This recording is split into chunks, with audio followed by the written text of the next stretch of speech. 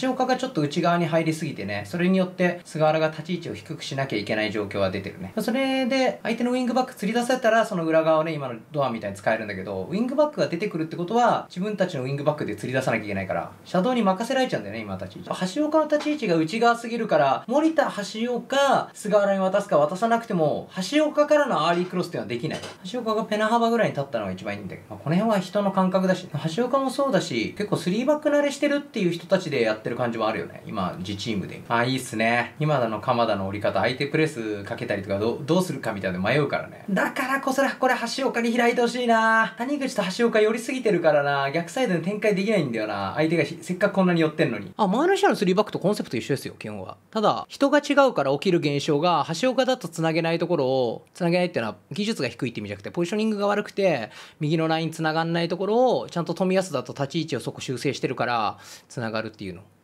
があってあとは田中碧と鎌田のキャラクターの差で田中碧は高い位置上がっていかないし相手も4バックだから5人いれば十分ライン間にね人数1人ずつ配置できるからこの間は5バックで6人必要みたいな考え方だったかもしれないし。ってなると3バックプラスダブルボランチで回すと相手からのプレスをボランチ2枚いる分縦につきやすくて逃げやすいんですけど3バックプラス1ボランチだと縦につけるコースが少なくなって逃げれなくなるんでそれが前回のより一層機能不全になってましたね。3バックだと冨安選手どこのポジション一番いいと思いますか？あ右でいいんじゃないですか？板倉だと多分ねうまいこと右のねウィングバックと3バックの真ん中をつなげないと思うんですよね。前回だとこの間を取るこの選手選手にウィングバック上がってきて、ここ繋ぎたいんだけど、橋岡中入って3バックがこういう風になって、ここが繋がんなかったの。で、後々インタビューでも位置が低かったって言って、実際はね、このペナ幅ぐらいにいないと、これ位置高くても内側にいちゃうとここ繋がんないんだよね。繋がんなかったり、下がってきてウィングバックが受けなきゃいけない。これを冨安はペナ幅ぐらいでちゃんと上下できて、ここをね、高すぎると相手にプレスかけるし、低すぎると思った後運んでる間に相手寄ってくるから、この位置取りむずいんだよね。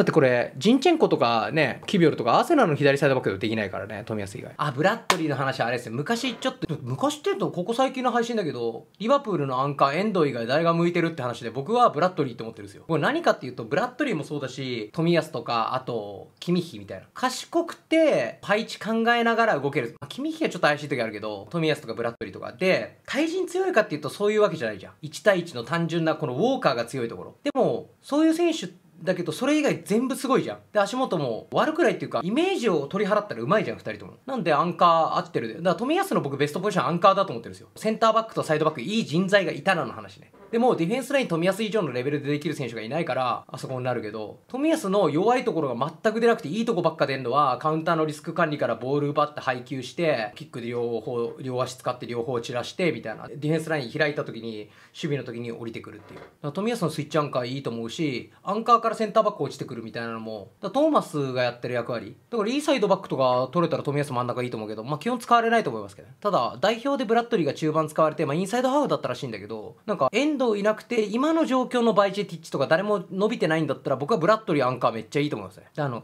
賢いサイドバックで足元もうまいパターンって基本アンカーできますからね。そうそう、サイドバックの選手が中盤やってるっていうより中盤ね、できる選手がサイドバックやってる。だああいう富安とかブラッドリーみたいな選手が本当にユーティリティなんですよね。なんか適正の配置がわかんないっていうか、最適化わかんない状態でどこ置いてもいまいちだからユーティリティって言われてる選手いるじゃん。それとは全然違うっていう、ね、私レオザフットボールが監督を務めるシュアーボ東京では毎週水曜金曜19時間の練習でセレクションを開催しております場所は都内近郊シュアボ東京で25万人以上に見られながら報酬をもらって本気でサッカーしませんか？多くの関係者が見るチャンネルですし、シュアボから J リーガー輩出を目指す僕らとしては、ステップアップも大歓迎です。概要欄の URL からのご応募、お待ちしております。